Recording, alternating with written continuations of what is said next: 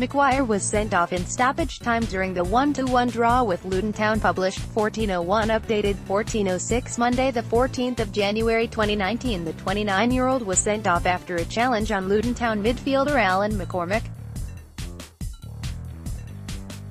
Jack Ross said Maguire was adjudged to have stamped on McCormack, something which the Black Cats boss was adamant did not take place.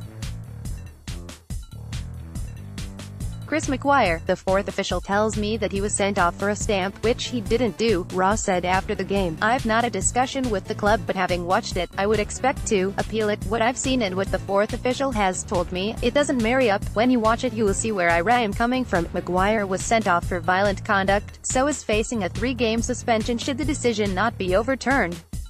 Ross is stretched in forward areas after Jerome Sinclair returned to Watford last week.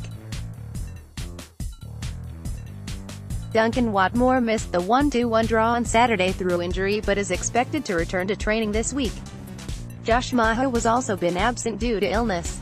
The Sunderland boss is keen to add an orthodox striker to his squad this month to boost his options.